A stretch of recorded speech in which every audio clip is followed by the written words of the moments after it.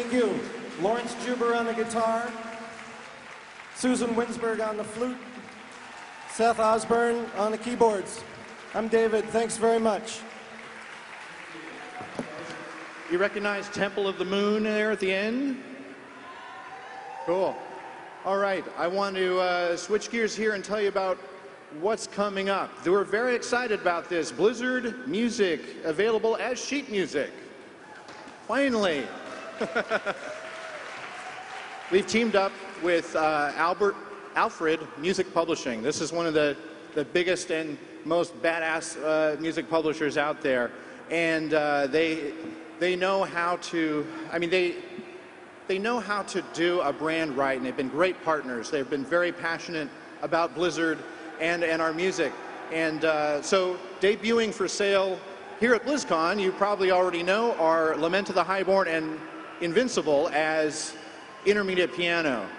But uh, coming up soon, Lion's Pride, Karazhan, Shaping of the World, Call to Arms, the uh, main title of Wrath of the Lich King, on and on. We're also going to do a piano anthology, which will have great art and be collectible, have, uh, I think, uh, eight or 12 songs in it. Uh, we're going to do beginning piano.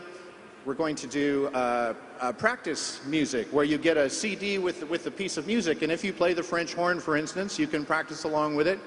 Uh, Want to do marching band? We're all the way up to the full professional orchestral scores, the same ones that we record with, uh, they'll be available for rental. So uh, hopefully we'll see some more symphonies uh, playing our stuff.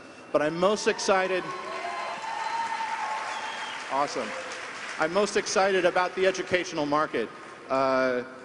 It's, it's, it's really cool. So there'll be something for everyone out there. So there's that.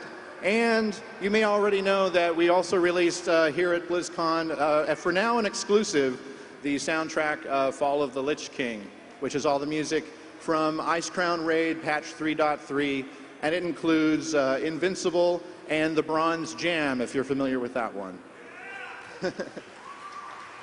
all right, now, let's talk a little bit about StarCraft 2. Uh, we have, uh, first of all, just because I want them to be able to chime in here, the composers for StarCraft 2, once again, Derek Duke, Glenn Stafford, and Neil Acree. So what we wanted to do to uh, give you a little taste of, uh, you know, StarCraft II, Wings of Liberty was very eclectic. Of course, there was a lot of uh, orchestral music that, that you all know, uh, but Glenn, for instance, uh, along with Derek, worked on the original StarCraft, and so uh, Glenn, you did the Terran music way back when, and you and you you you reprised your role on the Terran music this time, yes? Uh, yes, I did, and that was that was absolutely a blast. And uh, we had some uh, extremely talented musicians who I didn't ask you if we're supposed to tell their names or not, but anyway, uh, some fantastic musicians played on that uh, on the on the Terran tracks. Um, Actually, we can. It's uh, we're all big fans of Peter Gabriel, so it's a lot of members from Peter Gabriel's band from a few years ago. Jerry Marotta, who you saw last night on drums, Tony Levin on bass. Jesse Gress on guitars, Ben Butler also, and uh, Dan, uh, Daniel Weiss on keyboards.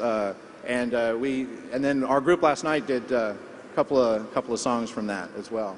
Yeah, that was a fantastic experience. We flew out to New York and uh, recorded in a converted church that was converted into a studio called Dreamland and it just it sounded amazing. Jerry's drums just sounded huge in there.